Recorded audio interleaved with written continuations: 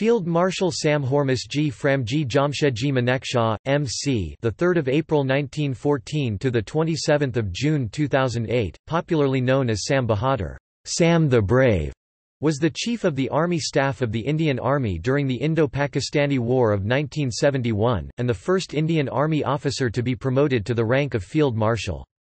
His military career spanned four decades and five wars, beginning with service in the British Indian Army in World War II.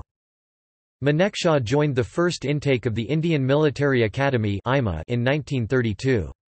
He was commissioned into the 2nd Battalion, Royal Scots, and later posted to the 4th Battalion, 12th Frontier Force Regiment. In World War II, he was awarded the Military Cross for gallantry. Following the partition of India in 1947, he was reassigned to the 16th Punjab Regiment. Manekshaw was seconded to a planning role during the 1947 Indo-Pakistani War and the Hyderabad crisis, and as a result he never commanded an infantry battalion. He was promoted to the rank of brigadier while serving at the Military Operations Directorate. He became commander of 167th Infantry Brigade in 1952 and served in this position until 1954, when he took over as the Director of Military Training at Army HQ. After completing the higher command course at the Imperial Defence College, he was appointed General Officer Commanding of the 26th Infantry Division. He also served as the Commandant of the Defence Services Staff College. In 1961, Manekshaw made derogatory comments about the political leadership which allowed his opponents to label him as unpatriotic, and he was charged with sedition. After being exonerated in the subsequent court of inquiry, he took command of 4th Corps in November 1962. The next year, Manekshaw was promoted to the position of Army Commander and took over Western Command, transferring in 1964 to the Eastern Command. Having already commanded troops at division, corps and regional levels, Manekshaw became the eighth Chief of the Army Staff in 1969. Under his command, Indian forces conducted victorious campaigns against Pakistan in the Indo-Pakistani War of 1971, which led to the creation of Bangladesh in December 1971. He was awarded the Padma Vibhushan and the Padma Bhushan, the second and third highest civilian awards of India.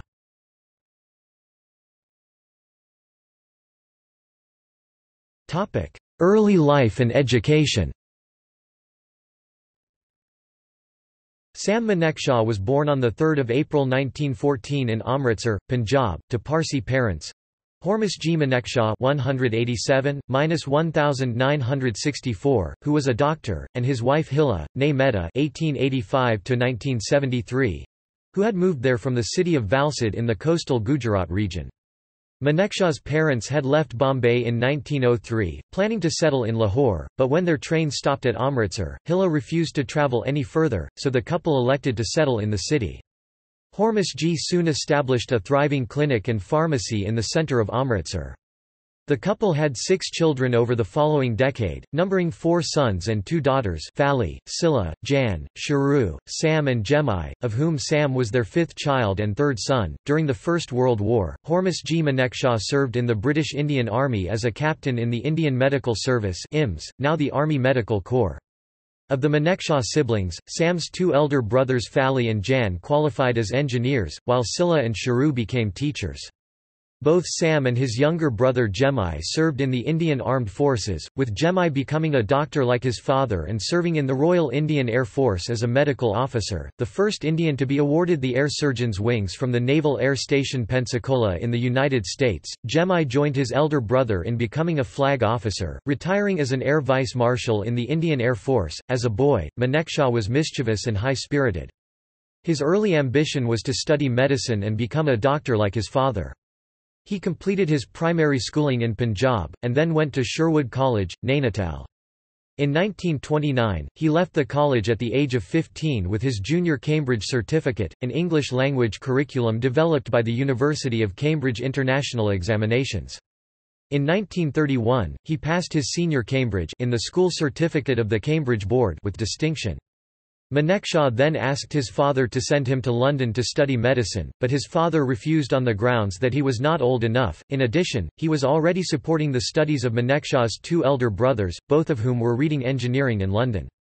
Instead, Manekshaw entered the Hindu Sabha College now the Hindu College, Amritsar, and in April 1932 Saturday his final exams held by the University of the Punjab, passing with a third division in science. In the meantime, the Indian Military College Committee, which was set up in 1931 and chaired by Field Marshal Sir Philip Chetwode, recommended the establishment of a military academy in India to train Indians for officer commissions in the army.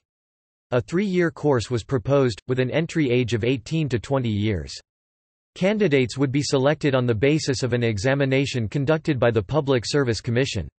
A formal notification for entrance examination to enroll in the Indian Military Academy was issued in the early months of 1932, and examinations were scheduled for June or July. In an act of rebellion against his father's refusal, Manekshaw applied for a place and sat the entrance exams in Delhi. On 1 October 1932, he was one of the 15 cadets to be selected through open competition. He was placed sixth in the order of merit.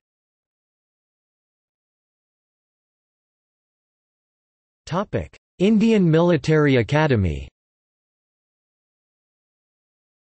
Manekshaw was selected as part of the first batch of cadets, called the Pioneers, his class also produced Smith Dunn and Muhammad Musa, future commanders-in-chief of Burma and Pakistan, respectively. Although the academy was inaugurated by Chetwode on 10 December 1932, the cadets' military training commenced on 1 October 1932. Manekshaw proved to be witty during his stay at IMA and went on to achieve a number of firsts, the first graduate to join one of the Gorkha regiments, first to serve as the Chief of the Army Staff of India, and first to attain the rank of Field Marshal. Of the 40 cadets inducted, only 22 completed the course, and they were commissioned as second lieutenants on 1 February 1935 with an ante-date seniority from 4 February 1934.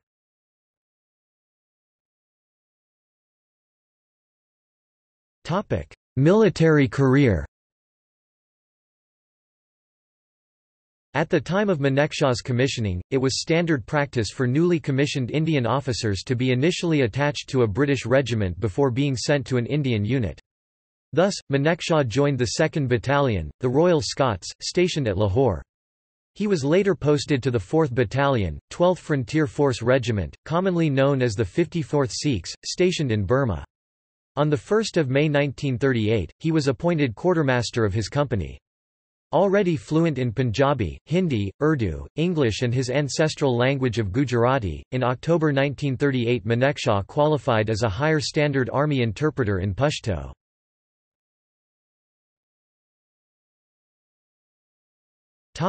World War II Because of a shortage of qualified officers on the outbreak of war, in the first two years of the conflict Manekshaw was appointed to the acting or temporary ranks of captain and major before promotion to substantive captain on 4 February 1942. He saw action in Burma in the 1942 campaign at the Sittang River with the 4th Battalion, 12th Frontier Force Regiment, and was recognized for bravery in battle. During the fighting around Pagoda Hill, a key position on the left of the Sittang bridgehead, he led his company in a counterattack against the invading Imperial Japanese Army. Despite suffering 50% casualties, the company managed to achieve its objective. After capturing the hill, Manekshaw was hit by a burst of light machine gun fire and was severely wounded in the stomach.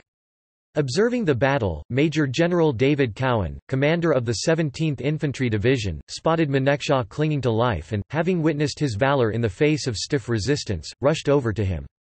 Fearing that Manekshaw would die, the general pinned his own military cross ribbon on him saying, "'A dead person cannot be awarded a military cross.'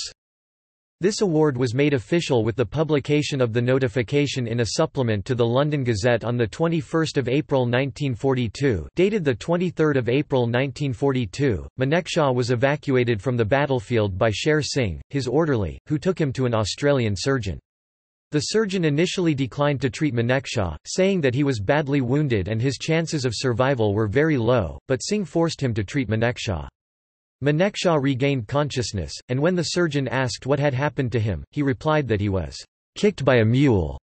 Impressed by Manekshaw's sense of humor, he treated him, removing seven bullets from lungs, liver, and kidneys. Much of his intestines were also removed. Over Manekshaw's protests that he treat the other patients, the regimental medical officer, Captain G. M. Dewan, attended to him. Having recovered from his wounds, Manekshaw attended the 8th Staff Course at Command and Staff College in Quetta between 23 August and 22 December 1943. On completion, he was posted as the brigade major to the Razmak Brigade, serving in that post until the 22nd of October 1944, after which he joined the 9th Battalion, 12th Frontier Force Regiment, in General William Slim's 14th Army. On 30 October 1944, he received the local rank of lieutenant colonel. On the Japanese surrender, Manekshaw was appointed to supervise the disarmament of over 60,000 Japanese prisoners of war POWs. He handled this so well that no cases of indiscipline or escape attempts from the camp were reported. He was promoted acting lieutenant colonel on 5 May 1946, and completed a six-month lecture tour of Australia. Manekshaw was promoted to the substantive rank of major on 4 February 1947, and on his return from Australia was appointed a Grade 1 General Staff Officer in the Military Operations Directorate.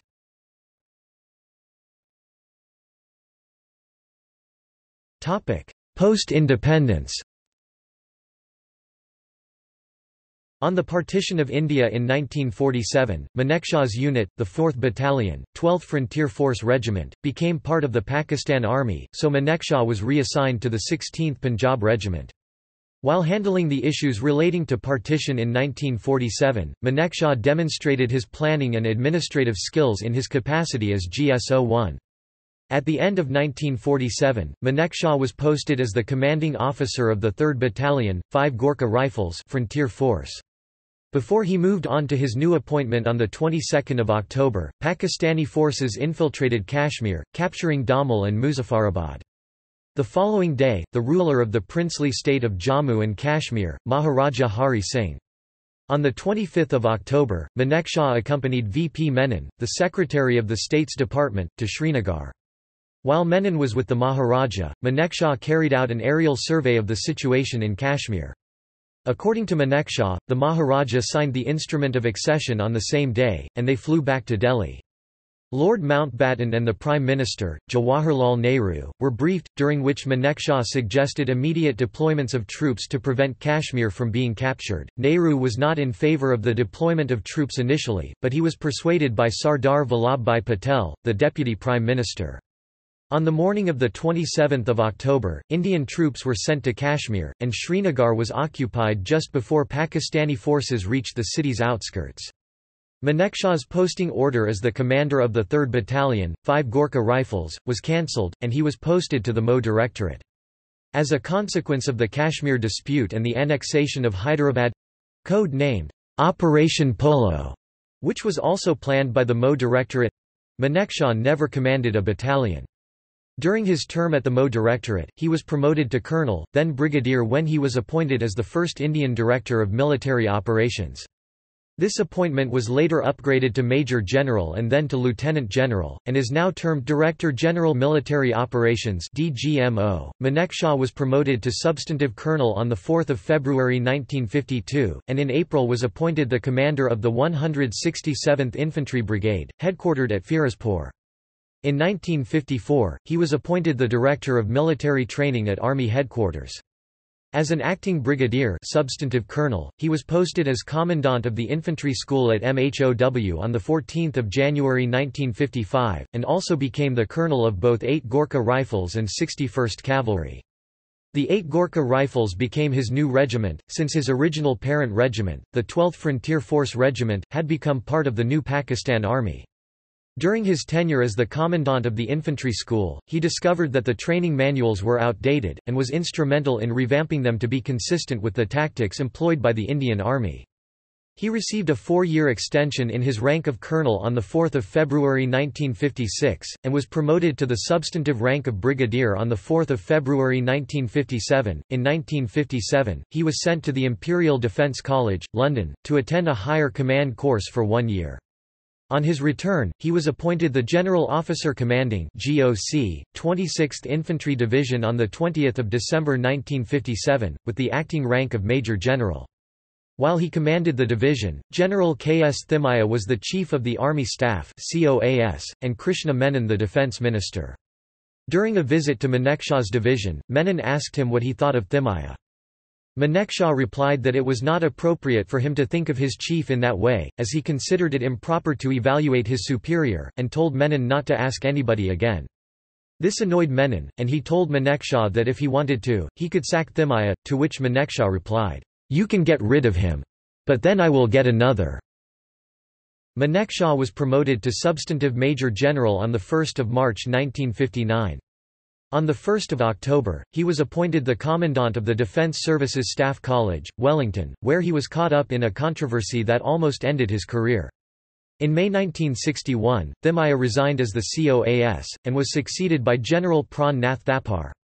Earlier in the year, Major General Brij Mohan Kaul had been promoted to Lieutenant General and appointed the Quartermaster General QMG by Defence Minister Menon. The appointment was made against the recommendation of Thimayya, who resigned as a result. Kaul was made the Chief of General Staff CGS, the second highest appointment at Army headquarters after the COAS. Kaul cultivated a close relationship with Nehru and Menon and became even more powerful than the COAS. This was met with disapproval by senior army officials, including Manekshaw, who made derogatory comments about the interference of the political leadership in the administration of the army. This led him to be marked as an anti-national. Kaul sent informers to spy on Manekshaw who, as a result of the information gathered, was charged with sedition, and subjected to a court of inquiry. Meanwhile, two of his juniors, Harbaksh Singh and Moti Sagar, were promoted to lieutenant general and appointed as corps commanders. It was widely believed that Manekshaw had come close to being dismissed from the service. The court, presided over by the General Officer Commanding-in-Chief of the Western Command, Lieutenant General Daulat Singh, known for his integrity, exonerated Manekshaw. Before a formal no case to answer could be announced, the Sino-Indian War broke out. Manekshaw was not able to participate because of the court proceedings. The Indian Army suffered a debacle in the war, for which Kaul and Menon were held primarily responsible, and both were sacked. In November 1962, Nehru asked Manekshaw to take over the command of 4th Corps. Manekshaw told Nehru that the court action against him was a conspiracy, and that his promotion had been due for almost 18 months. Nehru apologized. Shortly after, on 2 December 1962, Manekshaw was promoted to acting lieutenant general and appointed GOC of 4th Corps at Tezpur. Soon after taking charge, Manekshaw reached the conclusion that poor leadership had been a significant factor in IV Corps' failure in the war with China. He felt that his foremost responsibility was to improve the morale of his demoralized soldiers, which he achieved by ordering them to operate more aggressively. Just five days into his command, Nehru visited the headquarters with his daughter Indira Gandhi and the COAS, and found the troops advancing. Nehru stated that he did not want any more men to die. The COAS assured him that he would get the orders to advance rescinded. Manekshaw retorted that he should be allowed to command his troops the way he wished, or he should be sent to a staff appointment. Gandhi intervened and told Manekshaw to go ahead. Though Gandhi had no official position, she had great influence in the government. The next task Manekshaw took up was to reorganize the troops in the Northeast Frontier Agency where he took measures to overcome shortages of equipment, accommodation, and clothing. Promoted to substantive lieutenant general on 20 July 1963, Manekshaw was appointed an army commander on 5 December, taking command of Western Command as GOC in C. In 1964, he moved from Shimla to Calcutta as the GOC in C Eastern Command, having received his appointment on 16 November. There he responded to an insurgency in Nagaland, for which he was awarded the Padma Bhushan in 1968.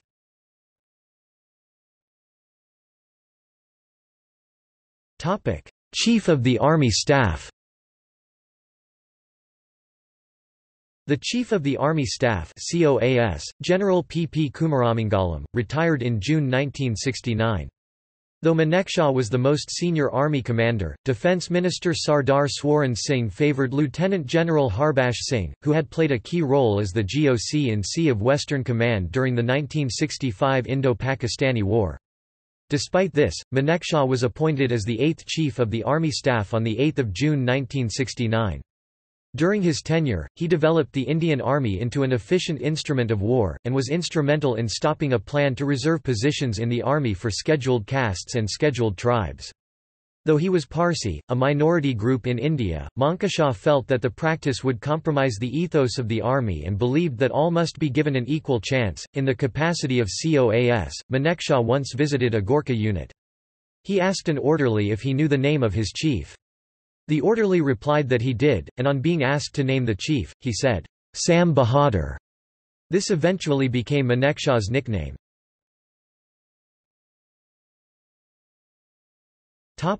Indo-Pakistani War of 1971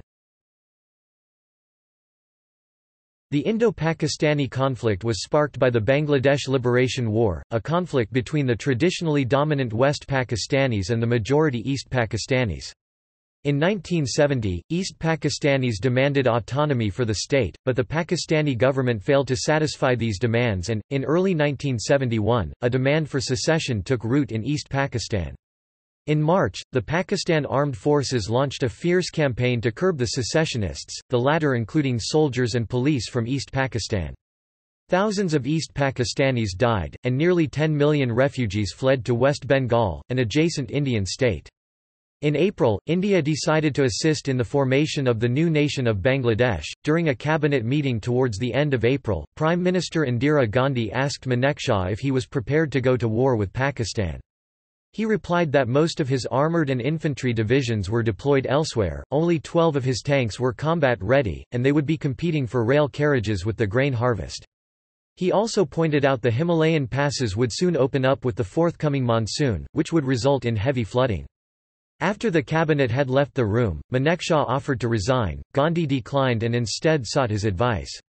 He said he could guarantee victory if she would allow him to handle the conflict on his own terms, and set a date for it. Gandhi agreed. Following the strategy planned by Manekshaw, the army launched several preparatory operations in East Pakistan, including training and equipping the Mukti Bahini, a local group of Bengali nationalists. About three brigades of regular Bangladesh troops were trained, and 75,000 guerrillas were trained and equipped with arms and ammunition. These forces were used to harass the Pakistani army stationed in East Pakistan in the lead up to the war. The war started officially on 3 December 1971, when Pakistani aircraft bombed Indian Air Force bases in the western part of the country. The Army headquarters, under Manekshaw's leadership, formulated the following strategy. The Second Corps, commanded by Lieutenant General Tapeshwar Narain Raina later General and COAS, was to enter from the west, the Fourth Corps, commanded by Lieutenant General Sagat Singh, was to enter from the east, the 33rd Corps, commanded by Lieutenant General Mohan L. Thapan, was to enter from the north, and the 101 Communication Zone area, commanded by Major General Gurbaksh Singh, was to provide support from the northeast. This strategy was to be executed by the Eastern Command, under Lieutenant General Jagjit Singh Arora. Manekshaw instructed Lieutenant General J.F.R. Jacob, Chief of Staff Eastern Command, to inform the Indian Prime Minister that orders were being issued for the movement of troops from Eastern Command. The following day, the Navy and the Air Force also initiated full-scale operations on both eastern and western fronts. As the war progressed, Pakistan's resistance crumbled. India captured most of the advantageous positions and isolated the Pakistani forces, which started to surrender or withdraw. The UN Security Council assembled on 4 December 1971 to discuss the situation. After lengthy discussions on 7 December, the United States put forward a resolution for immediate ceasefire and withdrawal of troops. While supported by the majority, the USSR vetoed it twice and, because of Pakistani atrocities against Bengalis, the United Kingdom and France abstained. Manekshaw addressed the Pakistani troops by radio broadcast on 9, 11 and 15 December, assuring them that they would receive honourable treatment from the Indian troops if they surrendered. The last two broadcasts were delivered as replies to messages from the Pakistani commanders Major General Rao Farman Ali and Lieutenant General Amir Abdullah Khan Niazi to their troops, which were to have a devastating effect. They convinced the troops of the pointlessness of further resistance and led to their defeat. On the 11th of December, Ali messaged the United Nations requesting a ceasefire, but it was not authorized by President Yahya Khan, and the fighting continued. Following several discussions and consultations, and subsequent attacks by the Indian forces, Khan decided to stop the war in order to save the lives of Pakistani soldiers. The actual decision to surrender was taken by Niazi on 15 December and was conveyed to Manekshaw through the United States Consul General in Dhaka via Washington. Manekshaw replied that he would stop the war only if the Pakistani troops surrendered to their Indian counterparts by 9 o'clock on 16 December. The deadline was extended to 1500 the same day at Niazi's request, and the instrument of surrender was formally signed on 16 December 1971, when the Prime Minister asked Manekshaw to go to Dhaka and accept the surrender of Pakistani forces. He declined, saying that the honour should go to the Indian Army commander in the east, Lieutenant General Jagjit Singh Arora. Concerned about maintaining discipline in the aftermath of the conflict, Manekshaw issued strict instructions forbidding looting and rape and stressed the need to respect and stay away from women. As a result, according to Singh, cases of looting and rape were negligible. In addressing his troops on the matter, Manekshaw was quoted as saying, "When you see a begum Muslim woman, keep your hands in your pockets, and think of Sam." The war lasted less than a fortnight and saw more than 90,000 Pakistani soldiers taken prisoner. It ended with the unconditional surrender of Pakistan's eastern half and resulted in the birth of Bangladesh as a new nation. In addition to the POWs, Pakistan suffered 6,000 casualties against India's 2,000. After the war, Manekshaw became known for his compassion towards the POWs. Singh recounts that in some cases he addressed them personally and talked to them privately, with just his aide-de-camp for company, while they shared a cup of tea. He ensured that they were well treated by the Indian Army, made provisions for them to be supplied with the copies of the Quran, and allowed them to celebrate festivals and receive letters and parcels from their loved ones.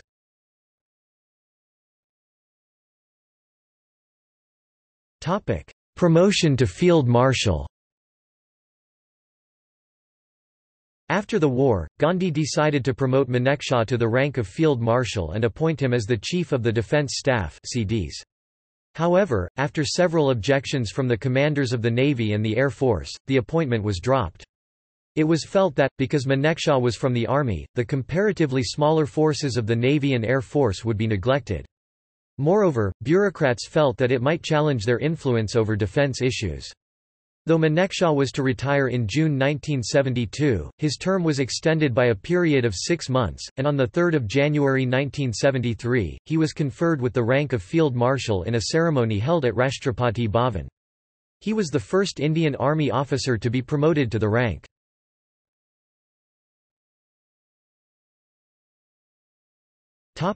Honours and post-retirement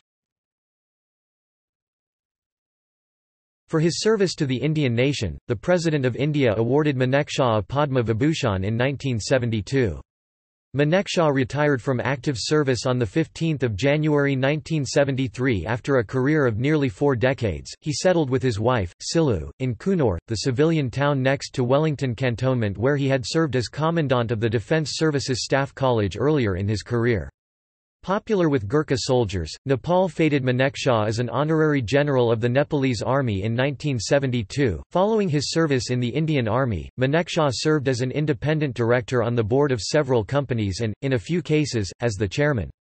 He was outspoken and avoided political correctness. Once, when he was replaced on the board of a company by a man named Naik at the behest of the government, Manekshaw quipped, This is the first time in history when a Naik corporal has replaced a field marshal. In May 2007, Gohar Ayub, the son of Pakistani Field Marshal Ayub Khan, claimed that Manekshaw had sold Indian Army secrets to Pakistan during the Indo-Pakistani War of 1965 for 20,000 rupees, but his accusations were dismissed by the Indian Defence Establishment. Although Manekshaw was conferred the rank of Field Marshal in 1973, it was reported that he was not given the complete allowances to which he was entitled. It was not until President APJ Abdul Kalam met Manekshaw in Wellington in 2007, and was presented with a check for 1.3 crore rupees $230,000 approximately, his arrears of pay for over 30 years, Lieutenant General Jacob, Chief of the Staff of Eastern Command during 1971 war, in his autobiography An Odyssey in War and Peace, wrote that Manekshaw had only gained popularity because of the media, and claimed that he had no battle experience other than during the Burma campaign in 1942. Jacob described Manekshaw as anti-national, anti-government, anti-Semitic, Jacob also said that when Manekshaw was the chief, he mentioned in a phone conversation that he had had very little confidence in Lieutenant General Jagjit Singh Arora GOC in C of Eastern Command, and on being asked why he was appointing Arora to the position, Manekshaw allegedly replied, I like to have him as a doormat. However, according to journalist and former military officer Ajay Shukla, Jacob had a habit of bracing up his reputation by tarnishing others with false claims.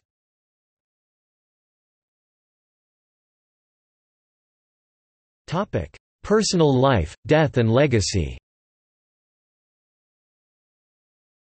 Manekshaw married Silloo Bode on the 22nd of April 1939 in Bombay. The couple had two daughters, Sherry and Maya later Maha, born in 1940 and 1945 respectively. Sherry married Batliwala, and they have a daughter named Brandy. Maya was employed by British Airways as a stewardess and married Daruwala, a pilot. The latter couple have two sons named Raul Sam and Jahan Sam. Manekshaw died of complications from pneumonia at the military hospital in Wellington, Tamil Nadu, at 12.30 am on 27 June 2008 at the age of 94. Reportedly, his last words were, I'm okay.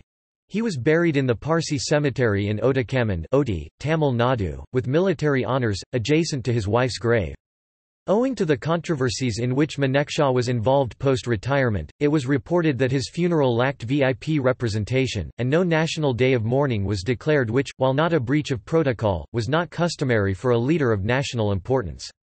He was survived by his two daughters and three grandchildren. Annually, on 16 December, Vijay Diwas is celebrated in memory of the victory achieved under Manekshaw's leadership in 1971. On 16 December 2008, a postage stamp depicting Manekshaw in his field marshal's uniform was released by then-President Pratibha Patil. A flyover bridge in Ahmedabad's Shivranjani area was named after him in 2008 by Narendra Modi, then Chief Minister of Gujarat. In 2014, a granite statue was erected in his honour at Wellington, in the Nilgiris district, close to the Manekshaw Bridge on the Ooty Coonoor Road, which had been named after him in 2009.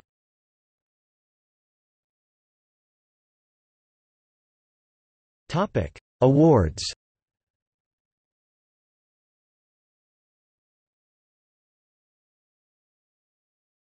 Topic: Dates of rank.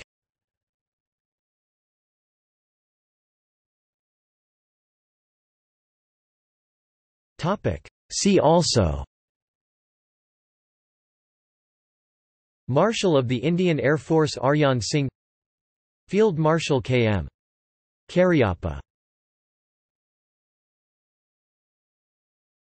Cariappa Notes. Footnotes. Citations